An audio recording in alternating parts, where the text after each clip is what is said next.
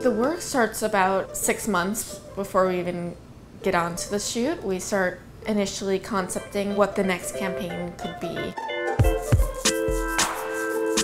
We had these very short inspirational maxims that we knew we wanted to paint onto the face. I was very worried how we were going to get the typography to be as bold and legible as possible. Face is really three-dimensional. We have a lot of things on a face. Nose, eyes, and chin and cheeks. Everything has its curve.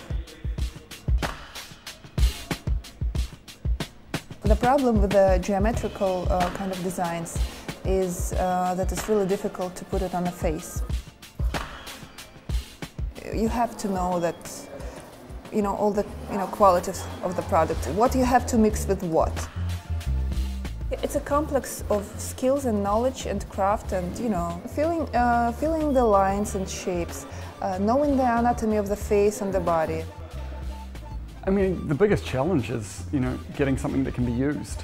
I mean, it's really easy to sit there and, you know, click the button, but there's also, you know, keeping in mind that we are doing something really creative. There's still a few boxes we've got to tick. I mean, some of these complicated sets also requires pretty complicated lighting. So we've got to make the girl look good, but also have it lit well. We've got to, you know, do the concept justice.